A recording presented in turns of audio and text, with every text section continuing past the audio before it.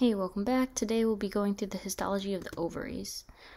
So, the ovaries lie in the pelvic cavity and is a part of the internal genital organs, which include, of course, the ovaries, the uterine tubes, the uterus, and the vagina.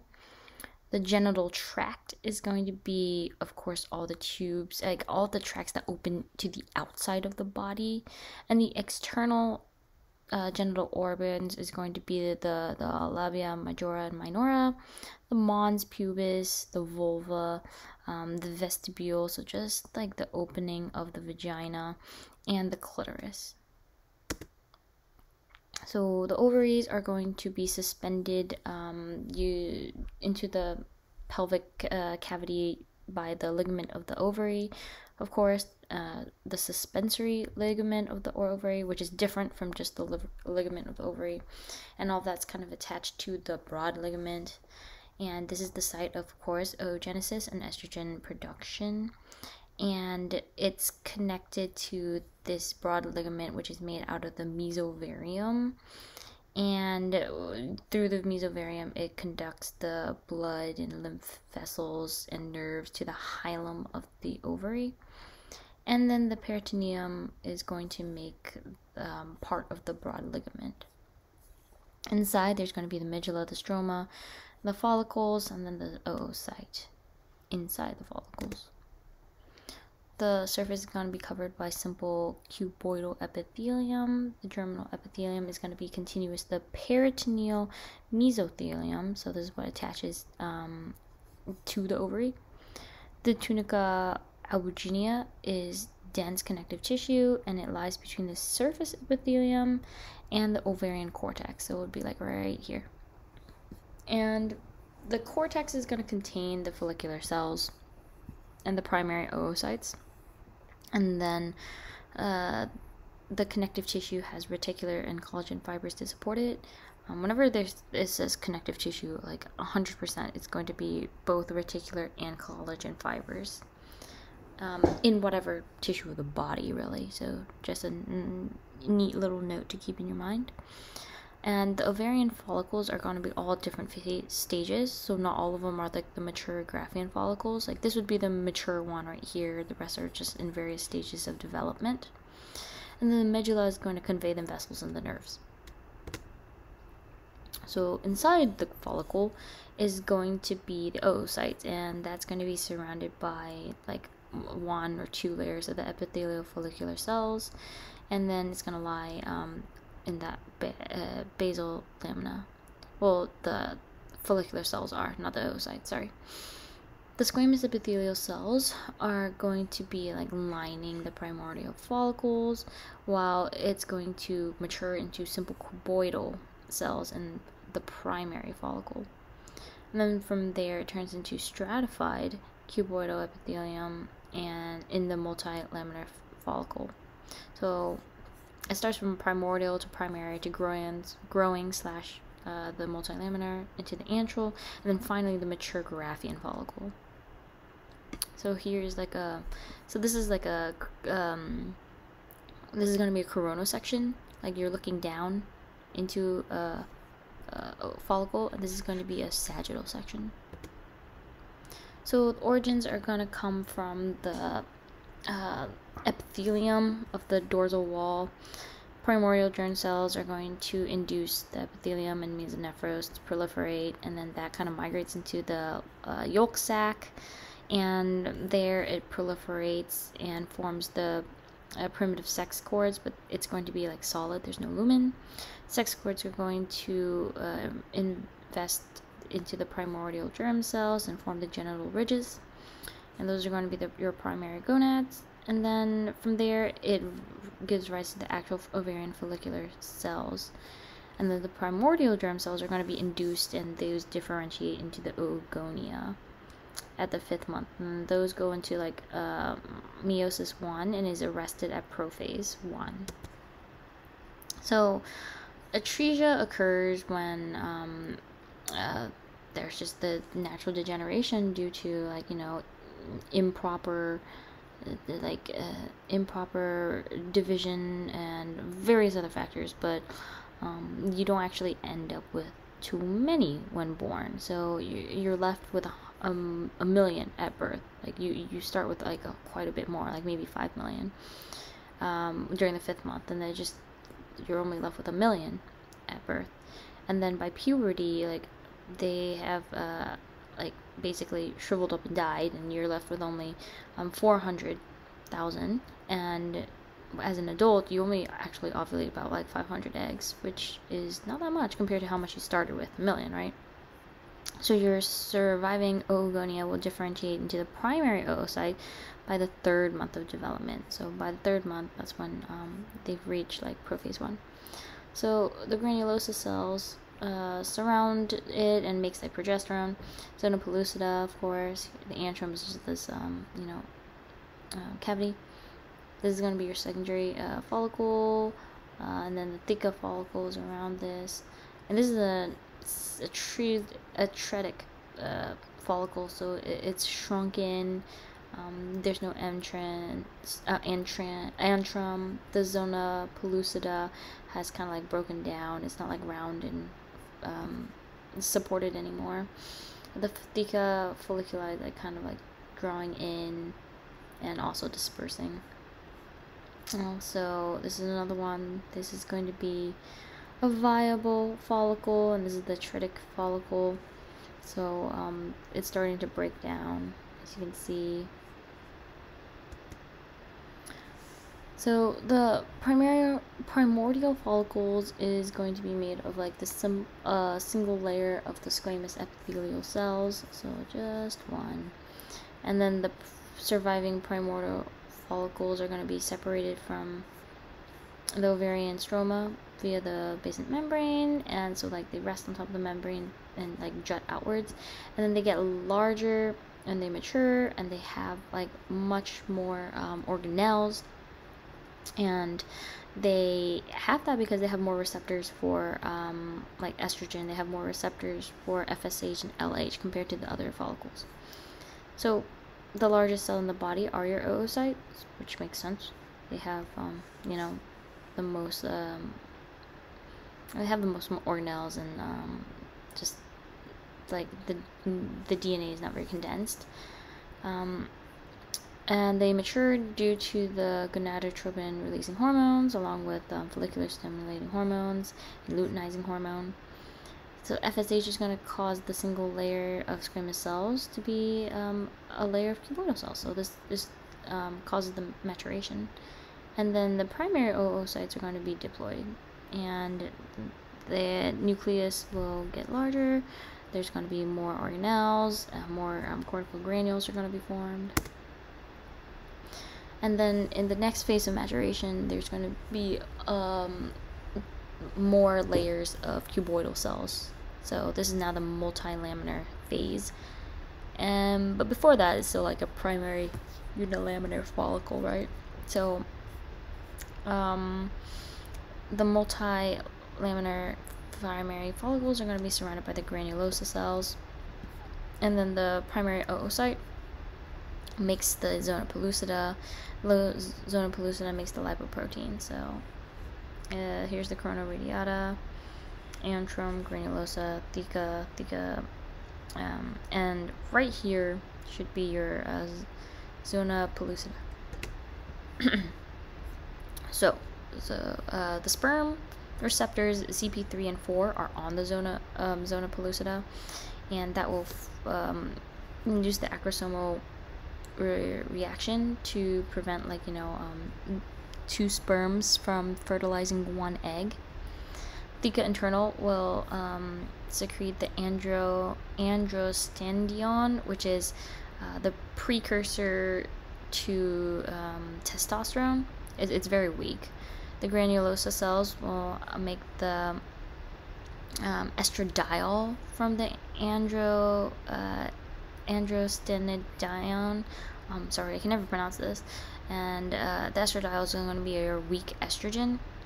And then your theca externa is purely there for support and has gap junctions for all of these to like you know um, leak out. So once again, here's the here's your follicle. Okay, so moving on, the multilaminar mm, primary follicles will have like small spaces, and the follicular fluid will like you know expand. It's made out of uh, hyaluronic acid, growth factors, plasminogens, fibrinogens, heparin sulfates, and steroids. Uh, while that to help um, implantation, and the spaces will enlarge and then make something um, like an actual cavity called the antrum. So these are now the antral or secondary follicle. Graafian is going to be your main one. It's going to be your largest one, and antrum is going to like divide into internal and external stratum. So it, it, there's going to be like kind of like two layers um, of the antrum. It's going to be like uh, the internal stratum is going to make the corona radiata and then um, there's something called a cumulus oophorus so it's going to be like a fuzzy layer on the outside of the uh, the follicle. And that will help attach the or not outside the follicles uh, outside the oocyte. And that attaches the oocyte to the follicular wall. And the external stratum line will line the um, antral cavity. And then that sits on the basement membrane to make the granulosa membrane and that's when the Graafian follicle will like you know push against the surface of the ovary. And it's going to push push push and form something called a ischemic stigma. So with the pushing it's going to cut off the blood supply to that little part of the wall. And the walls will continue like you know thinning and dying. And eventually it ruptures during ovulation. Ovulation due to LH remember LH surge?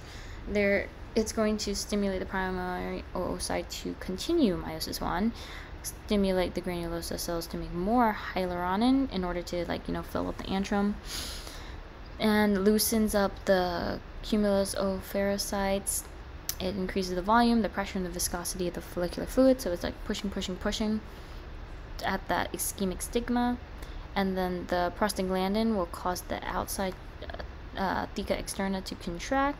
So nice um, pressure application and um, plasminogen will help degrade the collagen in the tunica albuginea, which is pretty tough, and the epithelium, and then rupture ovulation occurs. So your secondary uh, oocyte is now haploid, and the fimbriae, which are like you know um, villi, but there's no like absorption. Um, it's it's just like finger-like projections that's just gonna sweep the ovocytes into the ampulla of the oviduct. And then the walls of the ruptured um, Graafian follicle like fold into each other. And well that's the wrong image. Um, these are the fimbriae um, well they'll kind of like fold into each other.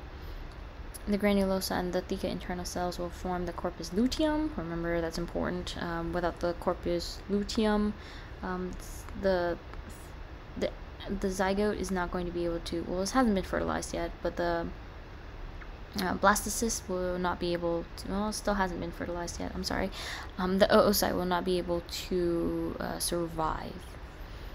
So the corpus um, luteum is going to form from the graafian follicles or, graph, or granulosa cells pardon me. So the granulosa cells are going to be degenerated granul or the granulosa lutein cells are degenerated granulosa cells. They're pretty big. They're polygonal. They're eosinophilic, so they're pretty. Um, they stain a pretty pink. They have a small round nucleus, and they have an important job because they secrete um, all these hormones. So the more important ones to remember is progesterone and estrogen. So the theca lutein is from the theca interna, and it, it also is eosinophilic, but it, it stains a little bit darker. And they have like um, lipid droplets in the cytoplasm, and they're found in the soul in the folds of the corpus luteum, and these have the main role of just making estrogen. Corpus luteum itself is maintained in the pregnancy, and if you menstruate, the corpus luteum is going to just degenerate the fibroblasts will invade and create a scar of connective uh, dense connective tissues, and that forms something called a corpus albicans. And eventually that gets smaller, and then it, it, it blends with the ovarian stroma. And the involution of the corpus luteum does not involve any atresia uh, in comparison to the the um, the uh, follicles. So they, these guys don't atresia. So here's your corpus luteum, and um, it, the corpus albigenia is is going to be um, it's going to be our, corpus um, albicans is going to be like like a line, like a dark line. So during implantation, the blastocyst is going to go into the endometrium and become embedded, and there's just going to be a differentiation of trophoblasts into the cytotrophoblasts. Those have the anti-inflammatory cytokines and allows the implantation to occur without the the woman's body from rejecting uh, the implantation. Uh, as you can kind of like you know infer, if a person has uh, any kind of like immune disorder or they can't make the anti-inflammatory cytokines it's going to be very hard for the woman to conceive because the, her body's going to always like reject the the embryo. So the cytotrophoblasts also play a role in secreting hydrolytic enzymes that will break down the extracellular matrix between the endometrial cell in order to this for the sinusoids to um, reach and allow um, blood, gas, and waste exchange between fetal uh, circulation and maternal circulation. The syncytioblast will make the human chorionic, um, human chorionic, I think, growth hormone. Um, HCG is actually the the hormone that is tested whether you are pregnant or not. This is what like you know shows in the double lines of a pregnancy test okay so the decidual reaction is um, like the mother's end of the um, placenta formation because there is going to be a transformation of the uterine glands along with vascular remodeling. You'll go through a lot of this more in like um, anatomy or embryology. But the apoptosis occurs, fibroblast becomes enlarged, and then there's going to be um, a lot of uh, protein synthesis, and um, it just allows the the mother's body to accommodate for an extra uh, strain of uh, resources because the, the the fetus requires a lot of energy and a lot of nutrients in order to grow. Okay, so follicular cysts are filled with fluid and they can be granulosa and thecal endocrine cells. They're benign, sort of, but like they can cause a lot of problems, especially with like infertility, but it can also cause a lot of like pain during menses.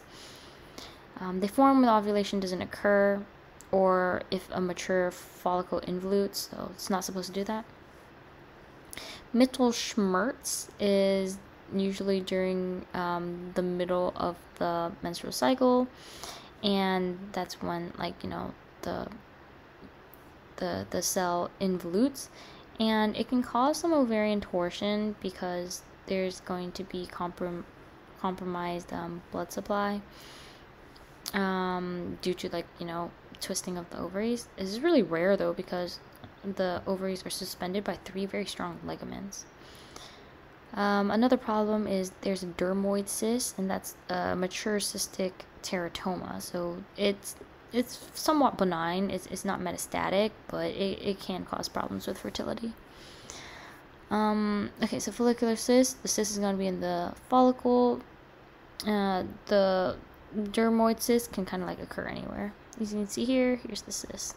Like, not good. Um, hemorrhagic cyst, of course, is very dangerous. Usually, it's some kind of indication of um, ectopic pregnancy, and um, there's a lot of blood involved. And it may develop from, you know, the corpus luteum of menstruation when it's filled with the flu- fluid or blood, and it just persists. And then, as you can see here in this histo slide, it's just full of fluid. Okay, PCOS is going to be a bunch of growing primary follicles that form, and uh, there is no ovulation, but there's also no rupture, so they just like accumulate. Uh, it's somewhat related to increased androgen production, insulin resistance. It shows up as hirsutism, infertility, um, irregular menstrual cycle, like very severe acne. I'm not talking one or two pimples. I'm talking about like acne vulgaris. Acanthosis nigrans, so like the darkening of your skin, um, and it becomes like velvety. But that's really like in that's not really because of PCOS. It's more because of the type two diabetes that you know these people generally um, like develop. Um, it's also a risk of endometrial cancer because of the constant, like, you know, cyst formation. And as you can see here, here's the normal group. Here's your growing cells. This is PCOS. So that's it for now. Thank you for your attention and good luck studying.